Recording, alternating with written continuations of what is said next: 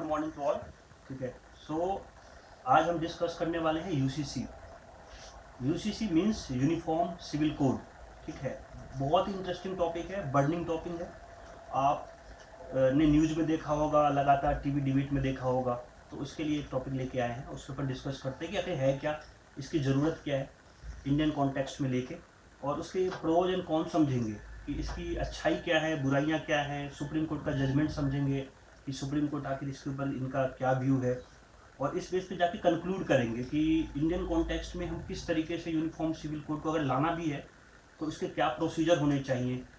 क्या हम directly secret तरीके से लेके आ जाएँ, या फिर हम उसको अलग तरीके से उसको लोगों के बीच में रख के डिस्कस करके तब जाके लाया जाए? सो स्टार्ट हम स्टार्ट करते हैं। तो पहले जैसे नाम सजेस्ट करता है कि यूसीसी स्टैंड है कि यूनिफॉर्म सिविल कोड मतलब एक ऐसा कोड जो सबके लिए बराबर हो। इरस्पेक्टिव ऑफ़ की कास्ट हो कलर हो क्रीड हो कुछ भी हो सबके लिए एक कानून सेम हो। जैसे कि आप देखा होगा कि कोई भी कोई भी अ, अगर कोई भी इंसान अगर किसी टाइप की गलती करता है ठीक है अगर वो क्रिमिनल ऑफेंस करता है तो कानून उसके लिए सेम है। जैसे कि आईपीसी के इतने सारे सेक्शंस हैं ठीक है। अगर आपने चोरी की डकैती की या डिफरेंट डिफरेंट टाइप की चीज़ें आपने ऑफेंस की है तो चाहे आप हिंदू हो मुस्लिम हो सिख हो ईसाई हो फ़र्क नहीं पड़ता है। आप सबको सजा जो है वो आईपीसी और सीआरपीसी के अंदर दिया जाता है। तो वैसे ही मैरिज हो गया डाइवोर्स हो गया प्रॉपर्टी है, इस चीज़ों में जो अलग अलग रिलीजन है, उनके अलग अलग पर्सनल लॉज है, उसके बेस पे वो गवर्न होती है। तो इसको बेस पे, उसको लेके बहुत सारे डिबेट चल रहे हैं अभी कि क्या वो लोग को हम एक एक सिंगल कानून में नहीं ला सकते क्या? और अगर लाया जा सकता है तो उसका बेस कैसे हो? उसको तैयार कैसे हो? उसकी स्ट्रक्चर कैसे, उसके ढांचे कैसे तैयार किए जाएँ? तो उसको लेकर लगातार डिबेट चल रहा है। जैसा कि आपको पता है कि गवर्नमेंट जो है वो यूसीसी ड्राफ्ट कर ड्राफ्ट कर रही है और कर चुकी है। तो उसको लेके बहुत सारे लोग ऑब्जेक्शन है कि ट्राइबल पीपल के ऊपर क्या इम्पैक्ट पड़ेगा नॉर्थ ईस्ट वाले के ऊपर क्या इम्पैक्ट पड़ेगा, ठीक है? और जो हमारे माइनॉरिटी भाई है, उनके ऊपर क्या इम्पैक्ट पड़ेगा? तो ये सब देखते हुए डिफरेंट डिफरेंट जो पार्टीज़ हैं, ठीक है, वो अपना स्टेप क्लियर कर रही हैं। कि जैसे ही लगातार पेपर में द हिंदू में छाप रही है कि डीएमके जो है, तमिलनाडु के वो कह रहे हैं कि ये कॉन्स्टिट्यूशनली वैलिड नहीं है। मतलब ये अगर लाते हैं तो अम, जो ट्रैंकुलिटी है पीस है सोसाइटी की वो डिस्टर्ब हो जाएगी। कैसे डिस्टर्ब हो जाएगी वो हम समझेंगे। ठीक है? तो ये सब चीज़ें इसके पीछे रीजन है। और इसका यूसीसी का बैकग्राउंड क्या है? क्या ये पहली बार आया है? इसका हिस्ट्री क्या है? और क्या ये कभी लाया गया था? या सुप्रीम कोर्ट ने कभी और भी डायरेक्शन दिए थे? क्या कुछ गाइडलाइंस दिए थे कि आपको यूसीसी लाना है? तो उस बेस पे हम डिस्कस करते हैं।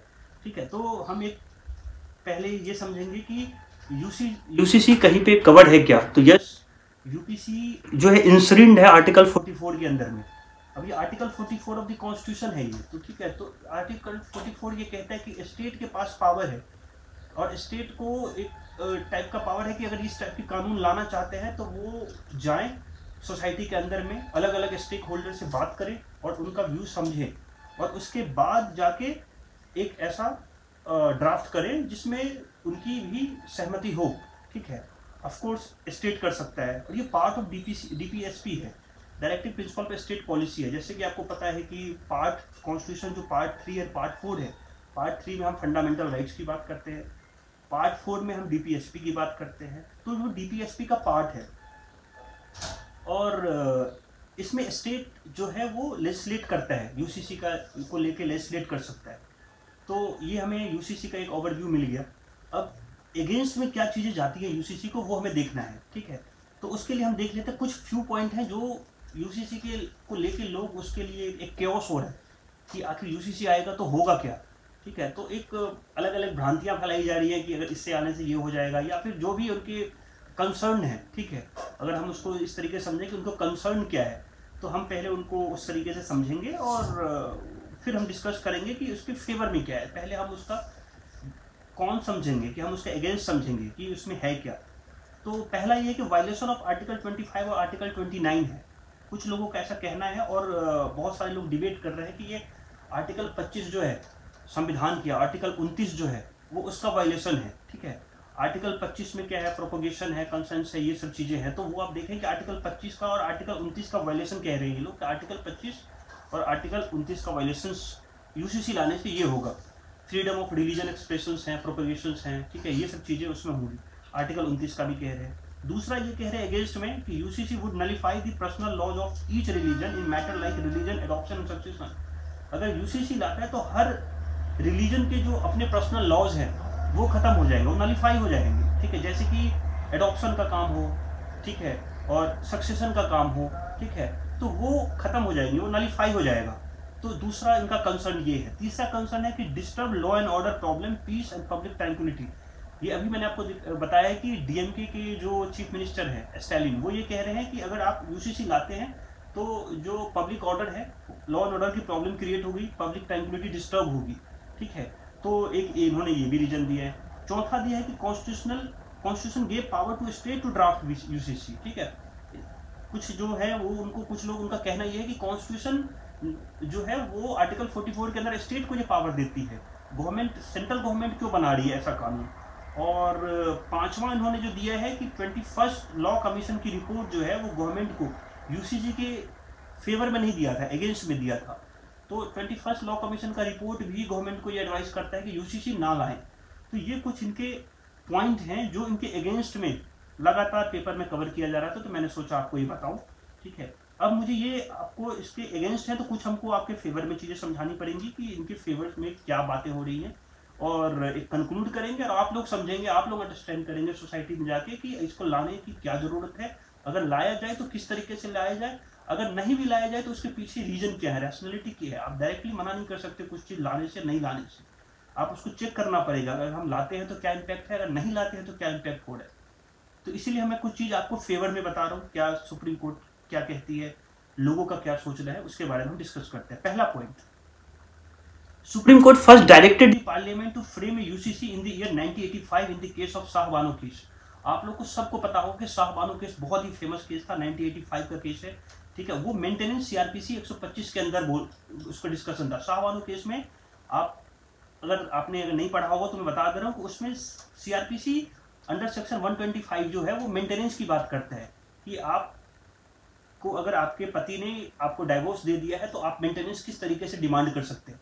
तो शाहबानो का केस वो था। इस केस में पार्लियामेंट ने यूसीसी को फ्रेम करने का एक एक सुझाव दिया था 1985 में। और उस समय के जो चीफ जस्टिस ऑफ़ इंडिया थे, वाई वी चंद्रचूड़ हुआ करते थे, जो अभी के डी वाई चंद्रचूड़ जी के फादर थे। और उन्होंने लिखा था, बहुत अच्छा लाइन लिखा था, मैं पढ़ के बताता हूँ आपको, a common civil code help the cause of nation integration उनका कहना था कि अगर हम एक कॉमन यूसीसी लाते हैं तो ये इंट्रीगेशन जो देश के अलग अलग लोग हैं, जिनके, जो हमारा दोस्त इतना डाइवर्सिफाई हो रखा है, उसको इंट्रीगेट करने में हेल्प मिलेगा। तो नेशनल इंटीग्रेशन की बात करते कर रहे थे वाई वी चंद्रचूड़। आज नहीं, उन्नीस की बात कर रहे by removing the disparity loyalties to law which have conflicting ideology हमारे जो संविधान में, हमारे देश में अलग अलग आइडियोलॉजी के लोग रहते हैं, चाहे हिंदू हो, मुस्लिम हो, सिख हो, अलग हो, ठीक है? इस टाइप के लोगों की, इनकी आइडियोलॉजी भी अलग है। अगर हम इनको इंट्रीगेट नहीं करेंगे तो वो एक आइडियोलॉजी में आएँगे नहीं फिट नहीं बैठेंगे, सब अपने अपने बारे में सोचेंगे। तो उस समय इन्होंने ये रिकमेंडेशन किया था कि हमें एक यूसीसी टाइप की चीज़ें लानी पड़ेगी। जिनका, जिनको, जैसे हम आईपीसी से गवर्न हो रहे हैं सारे लोग, वैसे यूसीसी से गवर्न हो। पर ऐसा हुआ नहीं था। जब वो डिस्कशन लेके आए थे तो उसके बाद पूरे देश में बहुत ज़्यादा एजुटेशन बढ़ गया था। हर जगह डिस्कशन होने लगा था कि क्या होगा यूसीसी आएगा कि नहीं आएगा। और उस समय राजीव गांधी की सरकार थी। तो शाहबानू का जो जजमेंट आया था, उसके बाद राजीव गांधी ने क्या किया? जो सुप्रीम कोर्ट के जजमेंट था, उसको पलट दिया। और उन्होंने क्या किया? गवर्नमेंट जो था ओवरटर्न दी शाहबानू के डिसीज़न को चेंज कर दिया। उन्होंने बोला कि उन्होंने एक एक्ट लेके आया जिसका नाम था Muslim women right to protection on divorce act और ये 1986 की बात है। 1985 में शाहबानो का केस आता है, सुप्रीम कोर्ट का जजमेंट आता है और मेंटेनेंस दिया जाता है उनको और उसके बाद यूसीसी के लिए एक एक ड्राफ्ट बोलने, तैयार करने के लिए बोला जाता है। लेकिन उसी के बाद इन्होंने मुस्लिम एक्ट 1986 लेके आ गए। उसका कॉन्सिक्वेंस क्या हुआ? उसका कॉन्सिक्वेंस हुआ कि उन्होंने क्या है curtail the right of Muslim women maintenance under section 125 of CrPC having said that supreme court merely made an observation अब गवर्नमेंट का राजीव गांधी का कहना था कि सुप्रीम कोर्ट ने केवल एक ऑब्जर्वेशन किया है। सुप्रीम कोर्ट ने कोई डायरेक्शन नहीं दिया कि आप यूसीसी लेके आओ। तो उस बेस पे क्या हो गया? उन्होंने जो मुस्लिम को जो उन्होंने 125 सेक्शन 125 सीआरपीसी के अंदर मैंने जो मेंटेनेंस का प्रोविज़न डिसाइड किया था, उनको उन्होंने हटा दिया। For enacting the UCC so इन्होंने not binding on the government और द पार्लियामेंट तो गवर्नमेंट के ऊपर बाइंडिंग भी नहीं है। ऐसा करके उन्होंने गवर्नमेंट ने बोला। And that there should be no interference with the personal laws unless the demand comes from within.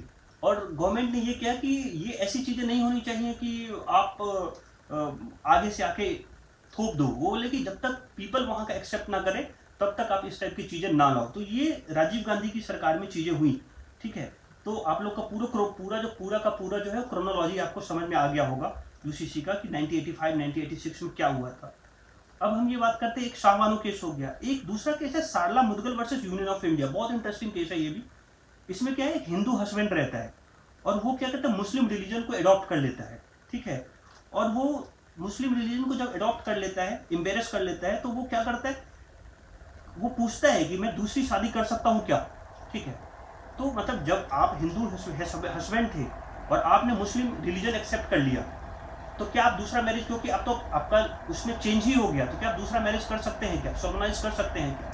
तो कोर्ट उसके मामले में भी कुछ बहुत क्लियर स्टेटमेंट दिया था कि court held that take a divorce first उन्होंने बोला था कि आपको पहले डाइवोर्स लेना पड़ेगा, ठीक है? हिंदू वुमेन से आपको डाइवोर्स लेना पड़ेगा. Under the Hindu marriage act 1955 के अंदर में डाइवोर्स लुआ if if still solemnise second marriage अगर आप डाइवोर्स लेकर नहीं रखते हो और फिर भी सोलमनाइज करते हो, दूसरा मैरिज आप जाके मुस्लिम अडॉप्ट करने के बाद और इंसिडेंट करने सॉरी मुस्लिम उसको इम्ब्रेस करने के बाद अगर फिर से आप दूसरा शादी करते हो तो ये ऑफेंस होगा। और भी ऑफेंस कौन सा? ऑफेंस सेक्शन 494 उसके अंदर में आईपीसी के अंदर में 495 के अंदर ऑफेंस हो जाएगा। तो आप अगर सोलमनाइज करना चाहते हो सेकेंड मैरिज तो आपको पहले वाले से डाइवोर्स लेना पड़ेगा। और ये कोर्ट का जजमेंट था। अब एक चीज़ और आती है कि बहुत सारे लोग डिस्कस कर रहे हैं बता भी रहे पेपर वाले लगातार छाप रहे हैं। वो ये कह रहे हैं कि इससे सेकुलरिज्म वर्सेस यूसीसी का थोड़ा सा डोल मटोल है कि मतलब अगर हम यूसीसी लाते हैं तो हमारी सेकुलरिज्म के ऊपर क्या इम्पैक्ट पड़ेगा? सेकुलर का मतलब हम क्या समझते हैं? सेकुलर का मतलब होता है कि state will not interfere in the matter of religion ठीक है स्टेट जो है वो मैटर उस रिलीजन में जाके घुस के आपको कुछ इस टाइप की चीज़ें नहीं करेगा इन्वॉल्व नहीं होगा। तो इसके बारे में हम देखते हैं कि अगर हम यूसीसी लाते हैं तो सेकुलरिज्म के ऊपर क्या इम्पैक्ट पड़ेगा? इंडियन कॉन्टेक्स्ट की बात कर रहे हैं हम। ठीक है? तो हम ये देखते हैं कि तो इसका मतलब ये है कि state is only concern with relation between man and man ठीक है?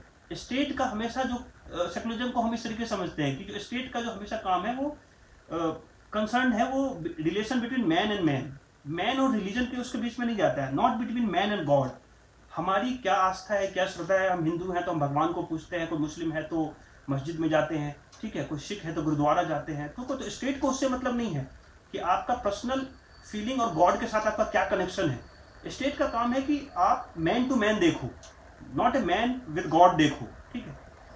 और इसके ऊपर एक बहुत अच्छा जजमेंट है। एस आर बोमाई का केस आप पढ़ेंगे S R Bommai versus union of India तो वो सेक्लोजम के बारे में बहुत अच्छी चीज़ें लिखते हैं। वो लिखते हैं कि जस्टिन जीवन रेड्डी थे उस समय जस्टिन जीवन रेड्डी लिखते हैं कि religion is a matter of individual faith religion जो है वो एक इंडिविजुअल फेथ है फेथ पे डिपेंड करता है। ये ये उनका मैटर है, ठीक है? And can not mix with secularism इनको मिक्स नहीं किया जा सकता है। सेक्युलरिज्म के साथ मिक्स मत करो। ये हमारा इंटरनल फेथ है। जो हमारा रिलीजन है, वो मेरा इंटरनल फेथ है। तो secularism activities can be regulated by the state by electing a law और वो कह रहे हैं कि सेक्युलरिज्म एक्टिविटीज़ जो है, वो लॉ से गवर्न किया जा सकता है। ठीक है? कैसे? कैसे कि मान लो कि सपोज़ दैट हमारे आर्टिकल के अंदर में आर्टिकल 25 से लेकर अट्ठाईस, उनतीस पढ़ेंगे, उसमें सब में जो है वो एक्सेप्शन दिया हुआ है। जैसे पब्लिक मोरालिटी हो गई हेल्थ हो गया। अगर अगर ये चीज़ें कहीं पे खराब है तो स्टेट उसमें इंटरफेयर कर सकती है। दैट मीन्स कि स्टेट आपके बीच में वहाँ पर घुस सकती है, जा सकती है, आपको समझा सकती है, आपको डायरेक्शन दे सकती है कि आपको ऐसी चीज़ें करनी है जिससे हेल्थ का नुकसान ना हो पब्लिक मोरालिटी डिस्टर्ब ना हो। तो ये एक्सेप्शन है आर्टिकल 25 से अट्ठाईस उनतीस के बीच में। तो स्टेट दैट मीन्स कि स्टेट जो है वो रिलीजन और ऐसे समय पे आपके उसमें इंटरफेयर कर सकती है। ये एस आर बोमे के केस में कहा गया है। अभी हम सेकुलरिज्म को इस तरीके से समझे कि यूएसए और यूरोप में, ठीक है स्टेट एक साइड है, बीच में वॉल है और एक साइड रिलीजन है। दैट मीन्स कि यूएसए साइड जो है वो और यूएसए में जो है वो स्टेट और रिलीजन दोनों बिल्कुल अलग अलग है। ठीक है, बीच में एक वॉल है, आप समझ सकते हो कि स्टेट जो है वो बहुत कम समय पे ऐसा होगा कि रिलीजन में जाके डिस्टर्ब करेगा। ठीक है इवन यूरोप की बात भी कर रहा हूँ यूएसए एंड यूरोप में। क्यों? क्योंकि वो उस दौर से पहले से उस दौर से गुजर चुके हैं। उनका जो एक्यूमेंट है, उनका इंटेलिजेंसिया है, उस उस तरीके से डेवलप हो चुका है। अब उनको स्टेट और रिलीजन को मिक्स नहीं करना है तो उन्होंने अपना एक अलग बना लिया है। सेम चीज़ इंडिया के कॉन्स्ट्रक्ट में क्लैरिटी नहीं है। इंडिया में जो है, अभी भी जो है हम डेवलप हो रहे हैं। धीरे धीरे हमारा जो इंटेलिजेंशियल लेवल है धीरे धीरे डेवलप हो रहा है। तो अभी भी स्टेट जो है, वो रिलीजन में कभी कभी आके आपको समझा सकता है। तो हमारा सेकुलरिज्म जो है ना, वो अलग है। वो पॉजिटिव सेकुलरिज्म है। आके सरकार उसमें इन्वॉल्व किया जा सकता है। तो जो लोग ये कह रहे हैं कि सेकुलरिज्म का इम्पैक्ट क्या होगा वो इससे क्लैरिटी हो रही है कि इंडियन सेकुलरिज्म जो है वो फॉरनर और वेस्टर्न सेकुलरिज्म से बिल्कुल डिफरेंट है। तो दिस इज़ ऑल अबाउट कि आप समझें कि यूसीसी जो क्यों ज़रूरत है क्यों नहीं ज़रूरत है। आपको जितने भी लोग जो हैं जो डिफरेंट डिफरेंट जैसे डाइवोर्स का केस हो गया या फिर प्रॉपर्टी का केस हो गया अलग अलग रिलीजन में ठीक है, उनको अलग अलग से ट्रीट किया जाता है। एक एक और भी चीज़ें हैं जो समझने वाली चीज़ कि अगर आप लोग बात करते हैं कि इसमें इक्वालिटी की जेंडर इक्वालिटी की बात करते हैं, जैसे Hindu women versus Muslim womens ठीक है? तो हिंदू में, हिंदी वुमेन्स को क्या अधिकार है और मुस्लिम वुमेन्स को क्या अधिकार है? जैसे ट्रिपल तलाक वाला केस था और निकाह हलाला वाला केस था, बहुत ऐसी चीज़ें हैं, ठीक है? जिसपे वो पर्सनल लॉ से गवर्न होती थी या हैं, ठीक है? और हम लोग अलग लॉ से गवर्न होते थे, ठीक है? तो उस बेस पे एक एक ऐसा लॉ तैयार किया जाए, एक इस तरीके की ड्राफ्टिंग किया जाए, जहाँ पे सबकी, सबके लिए एक ही कानून हो, सबको एक ही आईने से, सबको एक ही दर्पण से देखा जाए तो उस बेस पे सरकार ये करने की कोशिश कर रही है। और ये मैंने आपको बता दिया कि ये अगेंस्ट और फेवर दोनों समझा दिया, ठीक है? अगर यूपीएससी आपको इस टाइप की चीज़ें पूछती है तो आपका आंसर बिल्कुल बैलेंस होना चाहिए, ठीक है? और आप सुझाव दे सकते हैं यूपीएससी को कि हमको अगर ये चीज़ लाना भी है तो हम डिसेंट वे में नहीं लाएँगे। हमको टेबल पे रखना पड़ेगा बिल, लोगों को मौका देना पड़ेगा, उनके फीडबैक लेंगे, समझेंगे कि अगर ये लाने से क्या डिसएडवांटेज हो सकते हैं। उनके कंसेंट को ध्यान रखेंगे, उनको समझेंगे, उस पर एक ब्रॉड परस्पेक्टिव में पार्लियामेंट में बहस हो और तब जाके उसको लाया जाए।